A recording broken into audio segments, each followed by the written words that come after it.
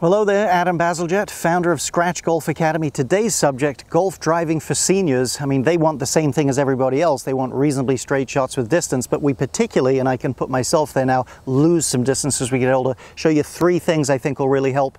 Two you've probably heard before, but I'll give you a few fresh ideas on those, I would think. And the third one will probably surprise you.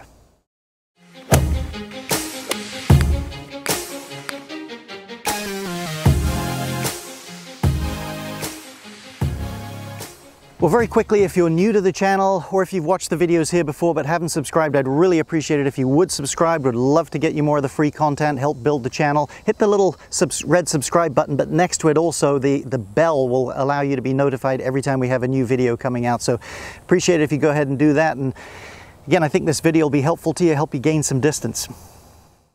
So the three things we'll look at with players today, that's Jason Day on the left, young stud hits it a mile, and that's the late great Payne Stewart in a regular pair of golf slacks there on the right. Really good for his longevity. Interesting to see how much smaller the club head is in his case there 20 plus years ago versus Jason Day. But the three things we're going to look at all have to do with the backswing. Now let's look at these two backswings. Uh, definitely a nice backswing. Probably there's the end of it. Let's look at Payne Stewart. Well, the obvious thing is it's a much longer backswing. Now, you know, what are the advantages of a longer backswing? Well, the big advantage, you've got to get to about here with your hands, the ball's up there somewhere to get to the ball. You have much more time to build speed in your downswing.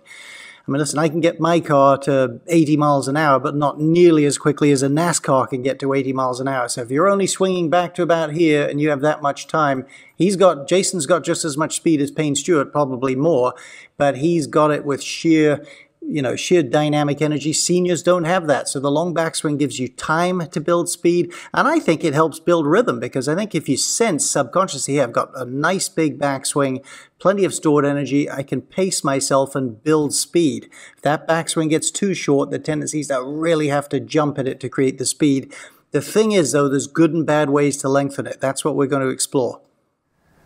Okay, first on our list of making your backswing potentially a little bit longer is your pivot, your body motion there. Now, if you don't have a big, decent sized pivot, you're not going to make a very big backswing, or if you do, you'll be overdoing it with your arms and cause all sorts of problems. The key is, though, you still have to have some sense of balance and you have to have some sense of torque and wind between the upper body and the lower body. So bear this in mind, your natural subconscious brain, the part that I'm not a brain expert for sure, but the part that controls these motor programs likes efficiency. So test yourself like this. If you had to reach for something on a high shelf, would you move your legs first? Absolutely not. You'd reach, and as your subconscious mind sensed, okay, we're getting stretched, we're not making it, it would add in a bit of lower body or, or stretch if you like that way. It does it in that manner. That's what you need in your golf swing. So play around with it right there at the house. If you're at the house watching this, Hey, if you had to put your hand here, let's say you're right-handed, go for your right hand, you don't need really any legs there. If you had to put your right hand, and reach up for something behind you more there,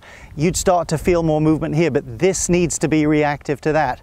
Then get a golf club in there and say, hey, listen, without thinking a lot, how far can I go before I need, start to feel I need more movement in here to allow for that stretch? Then you're starting to get the feel. So one of my swing tendencies my whole golf life since I was a junior golfer, it's just my nature it's just the things I got used to doing is to have a short, stiff backswing. So I'm going to give it a try here and we'll see, see if I can allow myself a good stretch and have the patience, if you like, to complete the backswing. Let's have a look here. Well, it wasn't the greatest shot for sure, but I did feel like I made a decent stretch going back and that would be more the feel I'd be looking for. Okay, next one. You need to have a full wrist cock. That will supply a lot of speed and it lengthens your backswing. And that would be angle between the lead arm and the golf club there. A lot of people get tripped up at their address and make mistakes or make a mistake there that doesn't really allow them to do this. Let's have a look at that. So there's Rickie Fowler, no distance troubles for him. If you want to hit the ball further, I have a free course for you, free three-part in-depth video course down in the description box, gain 25 yards. Just go ahead and pick that up. So as we look at Rickie there, he's doing what you need to do, and that is he's creating a significant angle between his arms and club. Number one, that gives you a good deal of wrist cock before you've even begun your backswing. Number two, though, it is much easier to get your grip correct. Expect the club to point somewhere near your belt buckle as you take your setup. Also expect the toe of the club to sit up in the air a bit. So if you're going to have mobility wrist cock, you have to be able to push down on the handle to make it hinge. So get the handle a little bit lower, Make sure this pad, this palm is on top of the club and the club's more down in the crevice of the fingers there.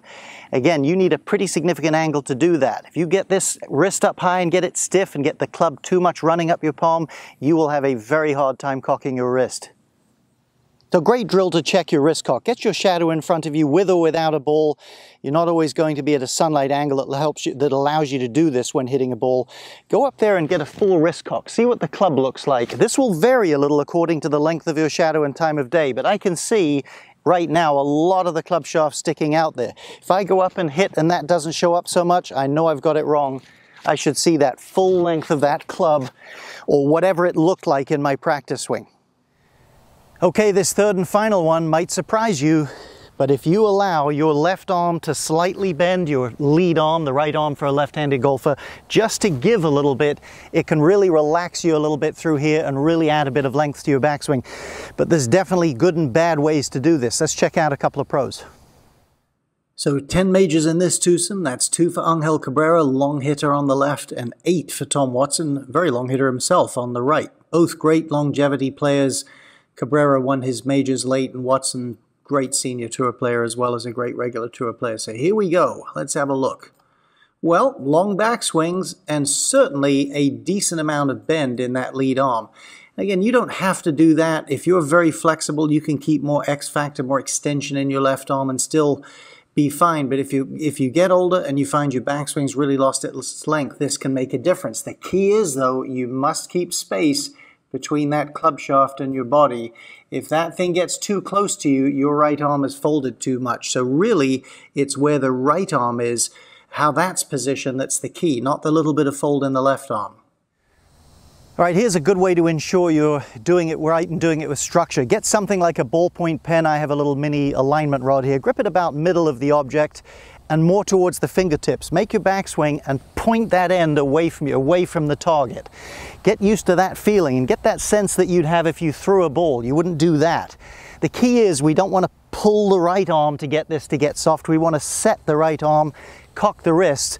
Once you've felt that, then just put your left arm up there and just get a feel for it and practice a little bit till you can get something that's comfortable for your body and you can repeat. Again, it takes, it doesn't take a year to figure this out. It takes a few minutes in front of a mirror to map some of these things out. Map out the pivot, set the right hand, add as much as necessary, just a teeny little bend in that left arm, and just find the sweet spot for your body that helps you add length but keep some structure.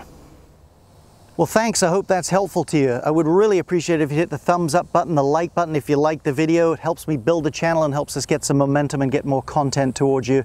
Hope this helps you with golf driving for seniors or for anybody for that matter that needs a little bit more distance. Hope this is helpful to you.